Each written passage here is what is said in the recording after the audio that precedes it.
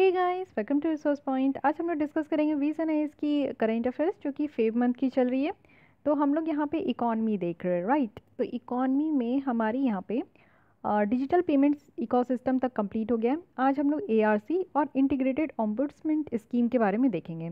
चलिए स्टार्ट करते हैं ऑम्बुड्समैन स्कीम तो एआरसी देखते हैं, इसका मतलब है asset reconstruction company it means कि नाम से समझने का कोशिश कीजिए कि ऐसी कंपनी जो कि एसेट को रिकन्स्ट्रक्ट करेंगे, फिर से बनाएँगे, ठीक है? तो ये कैसी कंपनी है जो एसेट को रिकन्स्ट्रक्ट करेगी? तो कैसे एसेट को रिकन्स्ट्रक्ट करेगी? बैड लोन को, वैसी लोन जो कि ख़राब हो चुकी है। N P A means non performing asset ऐसी एसेट को यहाँ पे फिर से रिकन्स्ट्रक्ट किया जाएगा जो कि परफॉर्म नहीं कर पा रहे हैं। ठीक है? लोन दे दिया गया वो लोन वापस रिकवर नहीं हो रहा है बैंकों के पास। तो वैसे लोग लो, लो लोन को जो कि बैंकों का एसेट था लेकिन अब वो जब लोन दे दिया गया तो वापस से वो बैंकों का एसेट वापस करने के लिए, क्योंकि लोन एसेट नहीं होता। लोन में जो इंटरेस्ट आता है, वो बैंक के पास होता है, ठीक है? तो बैंक जो लोन देती है ना, वो इंटरेस्ट के लालच में देती है कि इंटरेस्ट के थ्रू जो है, उनका बैंक में जो है बैलेंस बढ़ेगा। तो ये चीज़ें क्या देखने को मिलता है कि दिस इज़ कॉल्ड एसेट तो ये एसेट को रिकन्स्ट्रक्ट करना है जो यहाँ पे एसेट परफॉर्म नहीं कर पा रहा है या फिर जो लोन बैड हो चुके हैं, ठीक है? इस बार क्या हुआ है कि यूनियन बजट जो यहाँ पे आपका पास किया गया है फेबररी मंथ पे 2021 और 2022 का तो इसमें बात की गई है कि न्यू एआरसी और बैड बैंक बनाना है, जिससे कि जितनी भी ओवर एग्जिस्टिंग जो यहाँ पे बैड लोन है, उसको यहाँ पे कंसोलिडेट किया जाएगा, यानी कि इसको कम करने की बात की जा रही है। प्रपोजल में क्या है कि बैड बैंक और जो एआरसी है, वो प्रपोज किया गया है बजट में, जो कि बैंकों के द्वारा सेटअप किया जाएगा। अब ये चीज़ें ध्यान रखनी है कि जो एआरसी कंपनी ये बनाई जाएगी, ये बैंकों के द्वारा बनाई जाएगी, चाहे वो स्टेट ओन बैंक हो या फिर प्राइवेट सेक्टर बैंक हो। यहाँ पे सरकार की तरफ़ से कोई भी इक्विटी कंट्रीब्यूशन नहीं होगा, ठीक है? वहीं अगर हम लोग सरकार की बात करें तो वो यहाँ पे सॉवरेन गारंटी दे सकते हैं कि हाँ वो यहाँ पे जो भी रेगुलेटरी रिक्वायरमेंट की ज़रूरत होगी, वो यहाँ पे पूरा करेंगे। यानी कि कंपनी को रेगुलेट करने के लिए जो भी ज़रूरत होगी, वो सरकार पूरी करेगी। लेकिन अगर उस कंपनी को आपका इस्टेब्लिश करने के लिए सेटअप करने के लिए किसी भी तरीके का पैसे की ज़रूरत है तो सरकार उसमें हेल्प नहीं करेगी, ठीक है? वो आरबीआई को करना होगा सॉरी बैंक को करना होगा, चाहे वो स्टेट ओन बैंक हो या फिर प्राइवेट सेक्टर बैंक हो। साथ ही आप देखो कि ये एसेट मैनेजमेंट कंपनी होंगे, जो कि जितने भी बैड एसेट को जो सेल किया जाएगा या फिर मैनेज किया जाएगा एसेट मैनेजमेंट कंपनी यहाँ पे होंगे, जो कि फ़ंड को मैनेज करेंगे, जो भी इंडिविजुअल का फ़ंड है या फिर कंपनी का फ़ंड है। और राइट और साथ ही साथ यहाँ पे वेल टाइम्ड इन्वेस्टमेंट डिसीज़न भी होगा। यानी कि जो भी क्लाइंट है ना, उनके तरफ़ से ये बताया जाएगा कि वो कब और किस समय में वो इन्वेस्टमेंट करना चाहेंगे और उनका डिसीज़न क्या है, जिससे कि उनका फाइनेंस और पोर्टफोलियो बेटर तरीके से इंक्रीज़ हो। यानी कि आप समझो कि जब भी आप म्यूचुअल फंड में इन्वेस्ट करने जाते हो तो आप उस, उसका क्या मतलब होता है कि आपके पास जो भी पैसे है, जो भी एसेट है, आप उसको बेटर तरीके से मैनेज करना चाह रहे हो ना। आप चाह रहे हो कि आगे चलकर जब वो मेच्योर हो, आपके पास जब उसकी इंटरेस्ट के साथ जो पैसे आए उसको आप आगे चलकर अपने फ्यूचर में जो है इन्वेस्ट करो, उसको अच्छी तरीके से आप खर्च कर सको। है कि नहीं? तो वही चीज़ है कि यहाँ पे एसेट जो रिकन्स्ट्रक्शन कंपनी है, इसके अंदर एक मैनेजमेंट कंपनी भी होगी। ये क्या करेगी ना कि जितनी भी एसेट है, उसको मैनेज करने के बारे में क्लाइंट को बताया जाएगा। क्लाइंट जब बताएँगे कि उनकी डिसीज़न क्या है तो उसकी बेसिस पे उनको बताया जाएगा कि वो अपने एसेट को कैसे मैनेज करे। फाइन यहाँ पे जो स्ट्रेस्ड एसेट है, ऐसे एसेट है जो कि इसके ऊपर बहुत स्ट्रेस है, ठीक है? तो उसको रिजॉल्व करना है और वो आप देख सकते हैं, दो से यहाँ पे 2.5 लाख करोड़ तक का है, जो कि अभी तक अनरिजॉल्व है। अगर हम लोग सेवेंटी लार्ज अकाउंट के बारे में देखें तो जितने भी बैंक अकाउंट है, उसमें से सत्तर लार्ज अकाउंट है, जिसकी कि यहाँ पे टू से टू लाख करोड़ अभी तक अनरिजॉल्व है, ऐसी यहाँ पे स्ट्रेस्ड एसेट है। तो ये सब एक ही बातें होते हैं, चाहे बैड लोन बोलो स्ट्रेस्ड एसेट बोलो नॉन परफॉर्मिंग एसेट बोलो, ठीक है? साथ ही जो ट्रांसफ़र है स्ट्रेस्ड एसेट का एआरसी कंपनी में करना है, वो नेट बुक वैल्यू में होगा। तो जो पूरा आपका वैल्यू होता है, यानी कि नेट बुक वैल्यू है पूरी तरीके से एक बैंक उठाया जाएगा। मान लीजिए कि बैंक ऑफ़ इंडिया है। कोई एक ब्रांच का है। उसका अगर उठाया जाएगा तो टोटल तरीके से देखा जाएगा कि हाँ कितने लोग हैं कितने यहाँ पे बैंक अकाउंट के लोग हैं उनके द्वारा कितना यहाँ पे लोन लिया गया है और कितना टा, क्या टाइम था लोन रिपेमेंट करने का और कब से उनका जो लोन है वो अभी तक रिपेमेंट नहीं किया और कितना लोन है। तो ये क्या होता है पूरा बुक वैल्यू होता है। तो इस तरीके से पूरा नेट बुक वैल्यू यानी कि जितनी भी बैंकों का यहाँ पर टोटल है उन सब का एक साथ लेकर जो है ये ट्रांसफ़र किया जाएगा स्ट्रेस्ड एसेट ये कंपनी को दिया जाएगा। ये जो बैंक है ये आपका 15 परसेंट कैश लेगी और 85 परसेंट जो यहाँ पे सिक्योरिटी रिसिप्ट है, ये चीज़ें यहाँ पे ली जाएगी, वो भी बैड बैंक को। और ये क्या होगा, ये एआरसी को सोल्ड करके होगा, यानी कि बेच करके होगा। जितनी भी यहाँ पे जो कर्ज है बैंकों का, बैंक अपना कर्ज किसको दे देंगे? ये कंपनी को दे देंगे कि, ले भाई, तू इसको संभाल। ठीक है, ये वाली बातें हो जाएगी कि कंपनी अब यहाँ पे, बैंक का जो यहाँ पे कर्जा था, गंदी कर्जे जो थी, वो अब यहाँ पे ए आर सी यहाँ पे जो है इसको संभालेगा, वो यहाँ पे किसी भी तरीके से जिसका भी लोन है उसको रिकवर करने का कोशिश करेगा। उसके बदले में बैंक क्या करेंगे? तो बैंक जो है, वो यहाँ पे उसको फिफ्टीन परसेंट कैश मिलेगा और एटी फाइव परसेंट जो है सिक्योरिटी रिसिप्ट मिलेगा।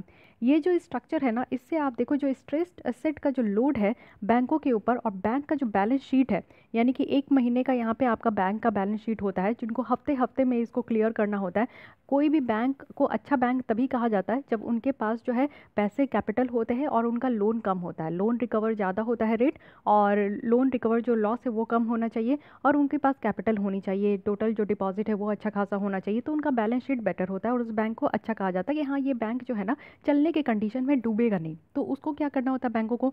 बैलेंस शीट अपना मेंटेन करना होता है। अब बैलेंस शीट में हर एक बैंक को दिखाना पड़ता है कि उनका एनपीए इतना ज़्यादा है, यानी कि उनका जो लोन है वो इतना ज़्यादा है, उनका लोन रिकवर जो रेट है वो बहुत स्लो है। तो इससे क्या होता है ना, बैंकों की रेपुटेशन कम होती है।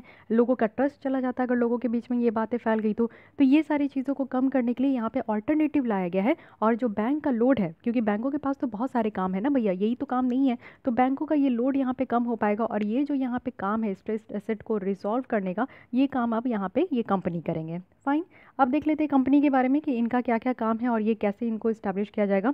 तो ये है एसेट रिकंस्ट्रक्शन कंपनी या फिर बैड बैंक ये दोनों एक ही नाम है, ठीक है?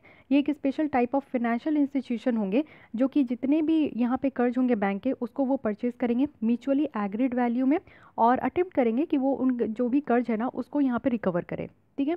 और एक बैड बैंक यानी कि प्रॉफिट यहाँ पे उनको लेकर आना है, अपना काम वो इस तरीके से करेंगे कि उनको प्रॉफिट हो, अगर वो यहाँ पे मैनेज कर पाए, यानी कि जितनी भी लोन लोन है और वो इनको बेच पाए हायर प्राइस जितना उनको पेड किया गया था, यानी कि जितना ये कमर्शियल बैंक के थ्रू ये लोन को पे किया गया था, उससे ज़्यादा ये प्राइस में अगर इस लोन को बेच पाए तो यानी क्या होगा? ये बैड बैंक को प्रॉफिट होगा। ये बैड बैंक अब क्या करेंगे? लोन लेंगे। मान लीजिए कि एक करोड़ का लोन जो है, ये बैंक ऑफ़ इंडिया से लिया गया था।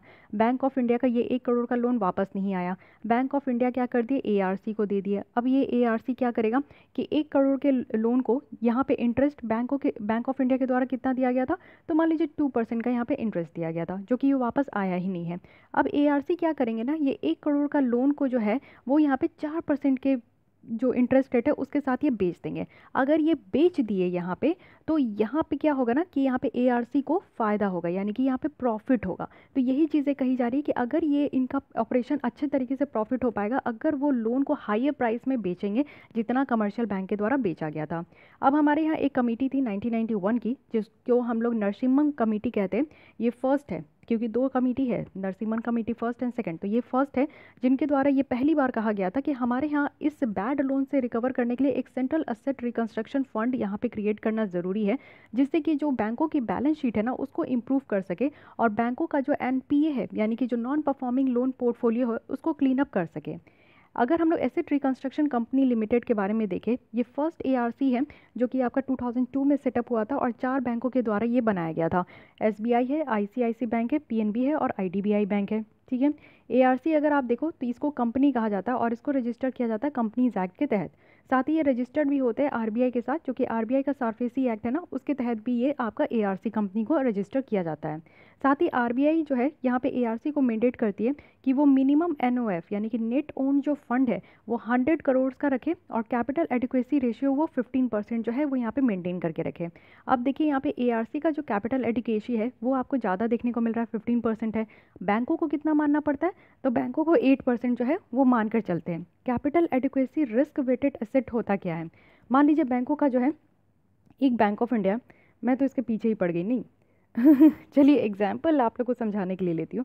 एक बैंक ऑफ़ इंडिया का एक ब्रांच है, जिसकी टोटल एसेट जो है हंड्रेड करोड़ है, ठीक है? अब यहाँ पे हंड्रेड करोड़ का जो बैंकों के पास टोटल एसेट होता है, ये एसेट जो है, आप देखो कि सीआरआर के फॉर्म में रखना होता है, तीन परसेंट आर के साथ साथ ही एसएलआर के फॉर्म में रखना होता है, ठीक है? और बाकी ये लोन के फॉर्म में निकाल देते हैं। लेकिन फिर भी बैंक डूबे ना, उसके लिए जो है ना, यहाँ पे एट परसेंट का capital adequacy risk weighted asset यहाँ पे रखना होता है बैंकों को। अब ये एट परसेंट कैसे डिसाइड होता है? तो मान लीजिए कि यहाँ पे जितना भी चला गया, अब यहाँ पे बैंकों के पास जो टोटल एसेट है, वो एट्टी करोड़ बच गया है, ठीक है? ये सारा ताम झाम करके। ताम झाम करके जो है, ये बैंक सोचे है कि सिक्सटी करोड़ को जो है लोन में निकाल देना है और ट्वेंटी करोड़ रखना है, कुछ और काम भी होता है, ठीक है? तो सिक्सटी करोड़ लोन में निकाल देना तो सिक्सटी करोड़ में से वो यहाँ पे सिक्सटी करोड़ टोटल लोन थोड़ी दे देंगे। वो यहाँ पे लोन देने का भी जो टारगेट रखते हैं ना, वो इसमें से भी एट परसेंट बचा कर चलते हैं कि एट परसेंट रख लेते हैं, बाकी का यहाँ पर जो आपका फिफ्टी टू परसेंट है, उसको लोन में निकाल देते हैं। तो ये चीज़ें होती है कि कितना टोटल एसेट है और उसमें से रिस्क कितना है। क्योंकि ये फिफ्टी टू परसेंट जो लोन दिया जा रहा है, क्या पता इससे वापस आ पाएगा कि नहीं आ पाएगा? तो थोड़ा सा पैसा बैंक अपने पास एट परसेंट रख लेते हैं। ये आरबीआई बोलती है कि आप एट परसेंट रख लो। और मेनली ये आप देखो कि बेसल थ्री नॉर्म्स होते हैं। जिसके बेसिस में ये डिसाइड होता है कि बैंकों को कितना ये मानना है। तो हमारे इंडिया में एट परसेंट माना जाता है। अब ये जो रिस्क है, ये रिस्क आप देखो क्योंकि ये जो एआरसी कंपनी है, इसमें रिस्क ज़्यादा होंगे। तो यहाँ पर रिस्क ज़्यादा होंगे तो उनको अपने पास कैपिटल एसेट जो है वो ज़्यादा रखना होगा, इसलिए फिफ्टीन रखा गया है। फाइन अब यहाँ पे हमारे यहाँ 2016 में इंसॉल्वेंसी एंड बैंक कोड भी आया था, जिसमें कि यहाँ पे ए को अलाउ किया गया था कि वो अपनी इक्विटी को एक्वायर कर सकते हैं डेट को जो है इक्विटी में कन्वर्ट करके। मान लीजिए कि कोई भी लोग अगर लोन लेते हैं तो वो कोलेट्रल भी रखते हैं। मान लीजिए कि अपना कुछ ज्वेलरी रख के गए या फिर कुछ जो है अपने ज़मीन का पेपर रख कर गए तो ये जो पेपर रख के गए ना, इन सबको बेच के जो है पैसा ले लो, ठीक है? ये लोन चुकता कर लो या फिर उनका जो प्रॉपर्टी है उसको हथिया लो। ठीक है, ये चीज़ें कहा गया था। इंसॉल्वेंसी और बैंक कोड बहुत अच्छे तरीके से काम करे बट अभी ये कोविड के टाइम में इसको, इनको हॉल्ट कर दिया गया था, रोक दिया गया था इनका काम का, क्योंकि कंपनीज़ तो ऐसे भी डूब रही है, क्योंकि बहुत ज़्यादा इकोनॉमिक लॉस हो रहा है और ग्रोथ भी हमारा डाउन हो रहा है तो कंपनीज़ को भी लॉसेस हो रही है।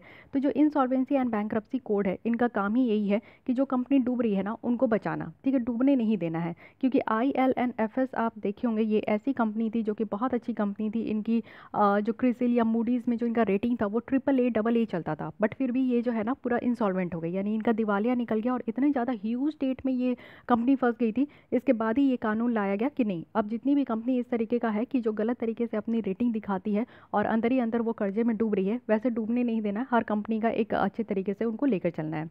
जब से ये सरफेसी एक्ट आया है तो बहुत सारे जो एआरसी कंपनी है ना, वो एग्जिस्टेंस में आए, यानी कि यहाँ पे बनते गया बैंक जो है वो इस तरीके के कंपनी बनाए और अपनी जो बैड लोन है वो इसको दे दिए। तो न्यू एआरसी जो यहाँ पे स्टैब्लिश हो रहा है, इससे बहुत तरीके की जो एग्जिस्टिंग एआरसी है ना, वो यहाँ पर सही तरीके से एन की जो प्रॉब्लम है, उसको डील नहीं कर पा रहे हैं। ठीक है? तो ये एक प्रॉब्लम देखने को मिल रहा है कि जो पहले से है वो, अभी के जो जो भी यहाँ पे बने हैं, उसमें डील नहीं हो पा रहा है। स्लो रिजोल्यूशन देखने को मिल रहा है।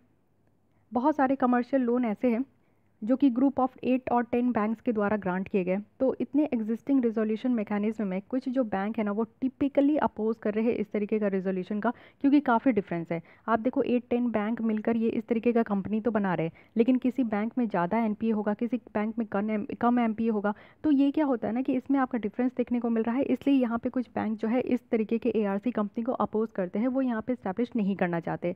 तो ये प्रॉब्लम देखने को मिल रही है।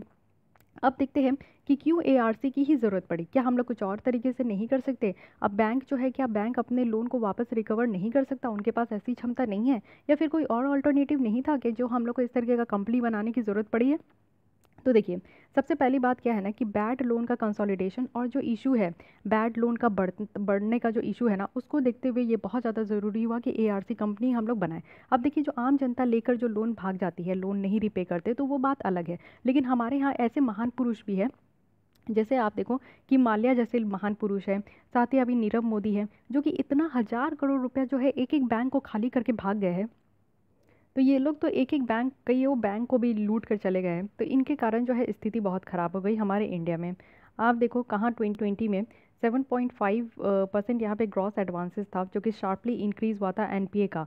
लेकिन वही आप देखो कि ये 2021 में और बढ़ गया एटलीस्ट 13.5 हो चुका है। तो ये हमारे यहाँ बढ़ते ही जा रहा है। तो बढ़ते जा रहा है तो इसलिए ये कंपनी की ज़रूरत पड़ गई। सेकेंड है कि आईबीसी मैकेनिज्म को कंप्लीट करने के लिए, यहाँ पे कम्प्लीमेंटिंग करने के लिए। आप देखो इंसॉल्वेंसी बैंक कोड जो है, वो इंफ्रास्ट्रक्चर तो आ चुका है। वेल well कैपेबल भी है कि अच्छे तरीके से जो स्ट्रेस्ड एसेट बढ़ते जा रहा है, उसको हैंडल भी कर पा रहा है। तो ये भी बेटर तरीके से काम करते ही जा रहा है insolvency and bankruptcy code but फिर भी एक ऐसा हम लोग को कंपनी की ज़रूरत है जो one time exceptional resolution mechanism लेकर आए। तो इसलिए हम लोग एआरसी कंपनी की तरफ़ बढ़ रहे हैं। साथ ही बैंकों का बर्डन बहुत बढ़ते जा रहा है तो उसको भी कम करना है कि बैंक कितना काम करेंगे, अपने कैसे एनपीए को रिजॉल्व करेंगे। तो इसलिए बैंकों का काम जैसे बढ़ रहा है तो वैसे ही बैंकों की बर्डन बढ़ती जा रही है। तो बैंकों का जो बर्डन है, उसको कम करने के लिए और इकोनॉमी को बूस्ट करने के लिए। देखिए एआरसी से क्या होगा कि हमारी जो एंटरप्रेन्योरशिप की जो यहाँ पे कॉन्फिडेंस है, वो बढ़ पाएगी। अदर ऑप्शन भी मिल पाता है कि कैसे बैंक और इंसॉल्वेंसी को जो है यहाँ पे फ़ाइल करना है, अगर स्ट्रेस का टाइम आ रहा है तो। सो ये सारे कंडीशंस है और ये सारे ऐसे कंडीशंस है जिससे कि एआरसी की ज़रूरत पड़ी। क्या क्या चैलेंजेस है? ऐसा तो नहीं है कि एआरसी बहुत अच्छा काम कर रहे हैं। अगर एआरसी बहुत अच्छा काम कर रहे होते तो आज की डेट में हमारी जो एनपीए की रेशियो है, वो बढ़ते नहीं जाती। तो आप देखो कि major shift of bad asset ए जो है, वो शिफ्ट हो रहे हैं बैड असेट से, वो भी गवर्नमेंट ओन्ड जो पब्लिक सेक्टर्स बैंक है to be government backed ARC है। तो इनका शिफ्टिंग देखने को मिल रहा है बैड असेट से। May not is the bad loan crisis यानी कि कई बार आप देखो कि ये ऐसा काम नहीं कर पा रहे। बोले तो थे कि वो रिकवर कर देंगे बट रिकवर हो नहीं पा रहा है। साथ ही साथ आप देखो कि जो पब्लिक सेक्टर्स बैंक है, वो ब्यूरोक्रेट्स के द्वारा मैनेज किया जा रहा है, जो कि यहाँ पे इंसेंटिव्स नहीं देते हैं कि इस तरीके के लेंडर्स प्रॉफिटेबिलिटी को इंश्योर कर सके। तो कई बार यहाँ पे इनके कारण भी प्रॉब्लम हो रही है। ह्यूज रिस्क है मोरल हजार्ड का। ये जो सेफ्टी नेट है ना, यानी कि बैड बैंक के द्वारा जो प्रोवाइड किया गया है कमर्शियल बैंक को, ये ज़्यादा से ज़्यादा रीज़न हो रहा है जिससे कि ये काम बेटर तरीके से नहीं कर पा रहे हैं। तो बैड लोन क्राइसिस भी देखने को मिल रहा है। ओके वे अहेड में बताया गया है कि इंडिया की जो पास्ट एक्सपेरिमेंट है बैड बैंक के साथ, ये फेल्योर के साथ ही खत्म हो चुका है। क्योंकि क्रूशल डिज़ाइन इम्परेटिव्स आपको देखने को मिलेगा कि किस तरीके से इनको काम करना चाहिए, इस चीज़ को इग्नोर कर दिया गया है। जो new R A R C है, ये एड्रेस करेगी। जो भी आज के डेट में जितनी भी यहाँ पे बैड बैंक का जो इश्यूज़ निकल कर आया है, वो काम नहीं कर पाया है तो उस चीज़ों को यहाँ पे एड्रेस किया जाएगा बाय इम्प्लीमेंटिंग और यहाँ पे सेटअप किया जाएगा न्यू ए आर सी को। ये ज़रूरत है आज के डेट में, क्योंकि आप देखो ज़्यादा से ज़्यादा दांत रहेंगे एग्जिस्टिंग एआरसी से तो वो यहाँ पे डील कर पाएँगे बैड लोन को स्मूथली तो ये देखिए डिफरेंट डिफरेंट तरीके से कर पाएँगे। जैसे आप देखो कि मलेशिया के एक्सपेरिमेंट है यहाँ पे, जो एशियन क्राइसिस हुई थी तो मलेशिया के एक्सपेरिमेंट को हम लोग यहाँ पे अपने तरफ़ से भी लेकर आएँगे। जैसे मलेशिया का क्या था कि वो अच्छे तरीके से इफ़ेक्टिव मैनेजमेंट किए थे। एआरसी जो है, वो यहाँ पर मैंड किया गया था सीजन्स जो जितना डिस्ट्रेस डेट मैनेजमेंट था। यानी कि एक सीज़न के द्वारा यहाँ पर किया गया था कि एक एक सीज़न जैसे आपका समर हो गया मानसून हो गया, या फिर आपका विंटर हो गया तो ये सीज़न के थ्रू आपका जितना भी एक सीज़न में जितना डेट है, उसको ये रिकवर करते गए तो एक फ़ेज़ मैनर में ये रिकवर किए तो मैनेजमेंट बहुत अच्छा था। सेकंड था कि फेयर प्राइस रहा एसेट परचेज करने का, यानी कि आप देखो जो कहा जा रहा है कि यहाँ पे एआरसी के द्वारा जो ये बेचेंगे तो ज़्यादा परचे ज़्यादा प्राइस में बेचेंगे। तो ये तो मैं आपको बताई कि हाँ दो परसेंट का चार परसेंट में देंगे। लेकिन क्या पता दो परसेंट का ये बीच, बीस परसेंट में बेचना चाहें। तो यहाँ पे फेयर प्राइसेस नहीं था। तो एसेट परचेज का ये फेयर प्राइसेस रखा गया। और साथ ही साथ जो बैंक भी ट्रांसफ़र करते हैं ना तो वो ज़रूरत से ज़्यादा बता देते हैं। कई बार आप ये भी देखे होंगे कि ये इशू है कि वो अपना अगर उनका चार करोड़ का लोन है ना तो वो पाँच करोड़ भी बता देते हैं कि चलो ठीक है, मेरा पैसा रिकवर करके आएँगे तो एक करोड़ का फ़ायदा हो जाएगा बैंकों को। बट ये भी कहीं ना कहीं प्रॉब्लम देखने को मिलता है। तो फेयर प्राइस ही यहाँ पर आपका जो है ट्रांसफ़र करना है। जो स्ट्रेस्ड एसेट का जो ट्रांसफ़र किया जा रहा है एआरसी को, वो एकदम राइट प्राइस है। ना ही बहुत ज़्यादा है, ना ही बहुत ही कम है। ठीक है? और स्टेक होल्डर्स के द्वारा सपोर्ट भी दिया गया। और एआरसी जो है, ये प्री डिफाइंड था लिमिटेड शेल्फ लाइफ था। यानी कि दो साल काम करना है, चार साल काम करना है, ये एकदम डिफाइंड था। तो इस तरीके से मलेशिया का जो एक्सपेरिमेंट है, उसको अब हम लोग जो है न्यू बजट में न्यू जो एआरसी ला रहे हैं, उसमें हम लोग इम्प्लीमेंट करेंगे। साथ ही क्लोजिंग रेगुलेटरी गैप भी रखा गया है सार्फेसी एक्ट और आईबीसी के बीच में।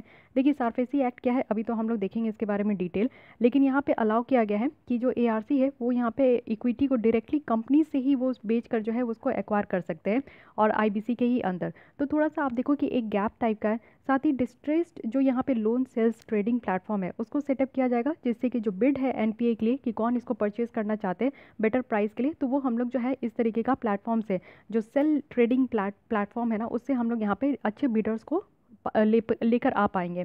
साथ ही गवर्नमेंट का रिफॉर्म भी करना है बैंक में। ज़रूरत है कि क्रिटिकल गवर्नेंस जो पिलर्स है, उसको रिफॉर्म करने की ज़रूरत है, जिससे कि एक बेटर तरीके का रिस्क मैनेजमेंट बैंक अपने आप कर सके। फिनेंशियल इंस्टीट्यूशन में हो ऑडिटर में हो बोर्ड में हो रेटिंग एजेंसीज में हो तो इस तरीके से होना चाहिए। साथ ही पब्लिक सेक्टर्स बैंक जो है, उनको भी प्रोफेशनल ऑटोनोमी प्रोवाइड करना चाहिए और लेवल प्लेइंग फ़ील्ड हो, कि वो अपने प्राइवेट सेक्टर्स काउंटर पार्ट के साथ जो है बेटर तरीके से काम कर सके। तो ये वे फॉरवर्ड है ये सोचा गया है कि इस बार ये कैसे काम करेंगे। अब इससे पहले ये तो पूरी डिटेल रही बैड बैंक के बारे में और एआरसी के बारे में। लेकिन अब ये देखते हैं सार्फेसी एक्ट के बारे में देख लीजिए, जो 2002 का है। Securitisation and reconstruction of financial assets and enforcement of security interest ठीक है?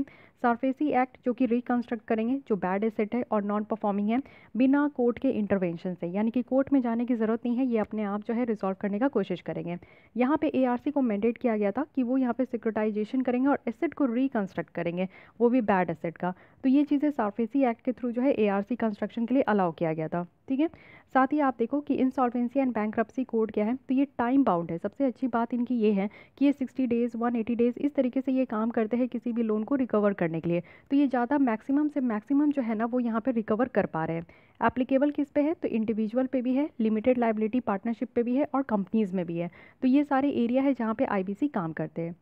अब बैड लोन देखिए कि क्या होता है और इसको कैटेगराइज भी किया गया है। तो इस तरीके से समझिए कि बैड लोन या फिर बैड डेट यानी कि कर्ज, ये एक अमाउंट है जो कि क्रेडिटर के ऊपर है और ये अनलाइकली टू बी पेड है, यानी कि आप तो समझ ही रहे हो कि लोन लेकर भागे वापस से बैंक को दिए नहीं। सिंपल है, ठीक है?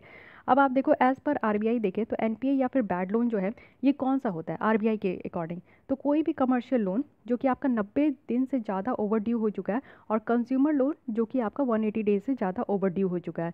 कमर्शियल लोन यानी कि जो कमर्शियल पर्पज़ के लिए अगर लोन लिया गया है तो नब्बे दिन, तीन महीने, और अगर कोई इंडिविजुअल लोन लिए है तो उसके लिए छः महीने, ठीक है? अब इसमें भी तीन तरीके से इसको कैटेगराइज किया गया फ़र्स्ट है सब स्टैंडर्ड सेकंड है डाउटफुल थर्ड है लोन लॉस असेट तो सब स्टैंडर्ड है, यानी कि जब एनपीए जो है, इसकी एक साल से कम या एक साल से आपका, एक साल तक हो जाए एनपीए तो उसको हम लोग बोलते हैं सब स्टैंडर्ड एनपीए डाउटफुल है, यानी कि जब आपका एक साल से ज़्यादा हो जाए तो ये डाउटफुल होता है कि अब ये लोन वापस रिकवर होगा कि नहीं.